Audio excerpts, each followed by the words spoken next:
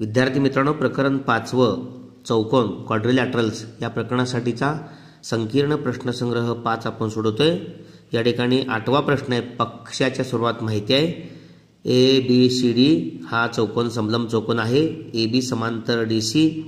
P हा E डीचा मध्यबिंदू आहे क्यू हा बी सीचा मध्यबिंदू आहे आणि साध्य आहे पहिलं दाखवायचं आहे पी क्यूला समांतर ए बी आणि दुसरं पी क्यू बरोबर एक छेद दोन कंसात ए बी अधिक C D quadrilateral ABCD is a trapezium AB parallel DC point P is midpoint of AD and point Q is midpoint of BC then prove that PQ parallel AB this is first second PQ is equal to 1 up into bracket AB plus CD या ठिकाणी A Q ही वाढवून एफपर्यंत वाढवलेली आहे आणि D C वाढवून या ठिकाणी A Q वाढवून D C वाढवून एफ बिंदू छेदतात आणि या ठिकाणी ए बी क्यू आणि एफ सी क्यू हे दोन त्रिकोण तयार झाले आहेत आणि हे दोन त्रिकोण आपण एकरूप दाखवायचे आहेत एकरूप दाखवत असताना कोण ए बी क्यू हा कोण आणि कोण एफ सी क्यू हे दोन एकरूप कोण आहेत या दोन ए बी आणि सी डी या समांतर सम या ठिकाणी बी सी ही छेदिका छेदत असेल तर हे तयार झालेले ए बी क्यू आणि एफ सी क्यू हे युत्क्रम कोण एकरूप आहेत शिवाय बी क्यू आणि क्यू सी एकरूप आहेत कारण पक्षामध्ये क्यू हा बी सीचा मध्यबिंदू आहे आणि कोण ए क्यू बी आणि कोण एफ क्यू सी हे विरुद्ध कोण एकरूप आहेत म्हणून हे दोन त्रिकोण ए बी क्यू आणि एफ सी क्यू एकरूप आहेत कारण को बा को कसोटी आणि म्हणून या ठिकाणी ए बी एकरूप रेख सी एफ एकरूप त्रिकोणाच्या संगत भुजा याशिवाय रेख ए क्यू एकरूप रेख क्यू एफ कारण इथं सुद्धा एकरूप त्रिकोणाच्या संगत भुजा म्हणजे ज्या ठिकाणी क्यू हा चा मध्यबिंदू आहे त्रिकोण ए डी एफ या दोन या त्रिकोणामध्ये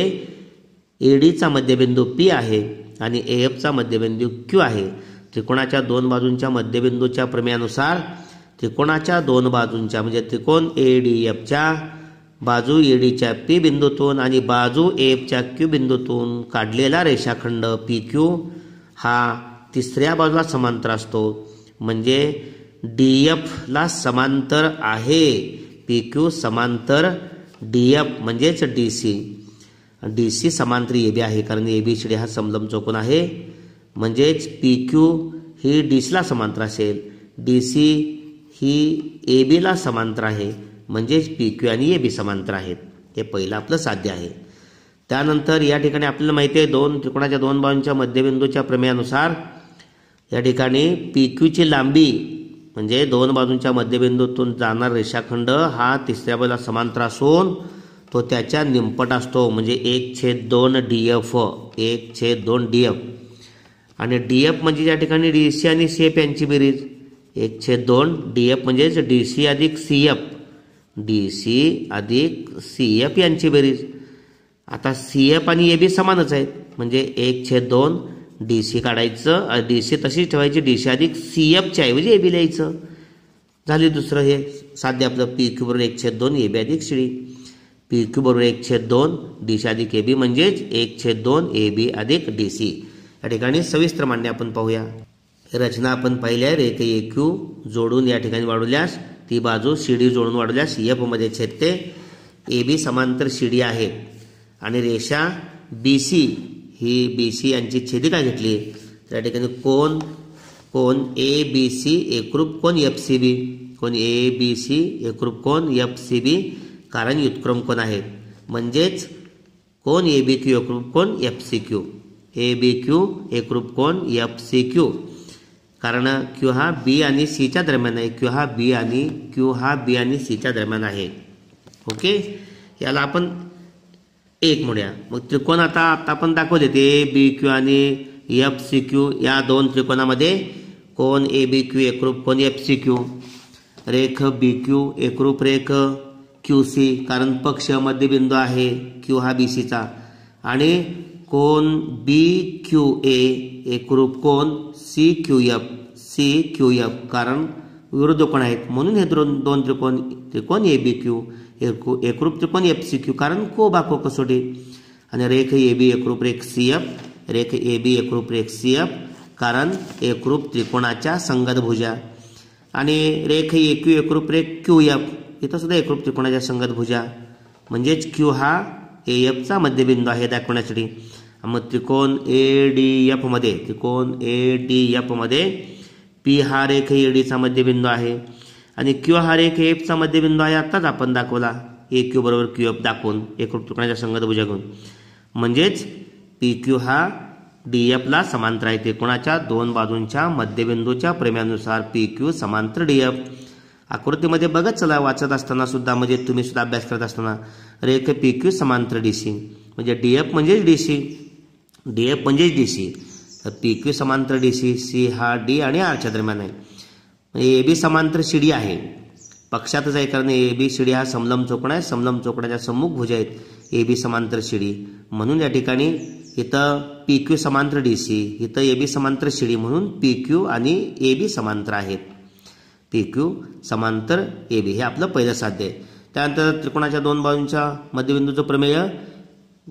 दोन बाजूंच्या मध्यबिंदूतून जाणारा रेषाखंड तिसऱ्या बाजूला समांतर असून निम्या लांबीचा असतो तिच्या म्हणजे P क्यूची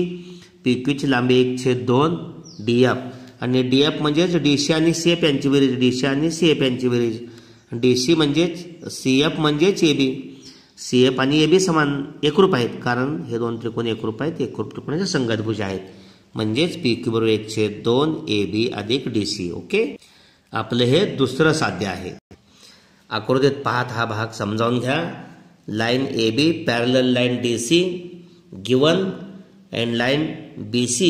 is a transversal so angle A B A B C angle A B C congruent angle R C B alternate alternate angles that means angle ABQ congruent angle FCQ because P dash Q dash Q Q C Q हा बियानी च्या दरम्यान आहे this is first नवीन triangle A B Q आनी triangle F C Q angle A B Q congruent angle F C Q from first segment B Q congruent segment Q C given because Q is mid point of B C okay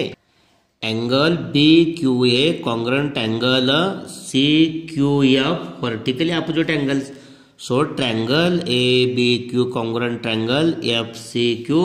ASA test. Therefore segment AB congruent segment CF, because corresponding sides of congruent triangles. Segment AQ congruent segment QF, also corresponding sides of congruent triangles. In triangle ADF, P is a midpoint of AD given and Q is a midpoint of AF from 3 segment PQ congruent segment DF. Midpoint theorem segment PQ parallel segment DC. Here segment PQ parallel segment DF midpoint theorem segment PQ parallel segment DC because D dash C dash R this is fourth but segment AB parallel segment CD given so segment PQ parallel segment AB from 4 and 5 in 4 PQ parallel DC in 5 AB parallel CD so from 4 and 5 PQ parallel AB okay this is first proof again from midpoint theorem the line segment joining the midpoints of any two sides of triangle is a parallel to the third side and is half of it. Therefore, PQ is equal to 1 of DF. PQ is equal to 1 of DF, but DF is DC plus CF. PQ is equal to 1 of plus into bracket DC plus AB. PQ is equal to 1 of that is PQ is equal to 1 of AB plus DC. here CF is equal to AB CF congruent AB instead of CF put AB so at last uh, second proof PQ is equal to 1 up into bracket AB plus CD अशा पद्धतीने संकीर्ण प्रश्नसंग्रह मधला आठवा प्रश्न आपण सविस्तर समजावून घेतलेला आहे आपणास तो आवडला असेल तर नक्की लाईक करा आणि आपल्या मित्रांना पाठवून ही सहकार्य करा धन्यवाद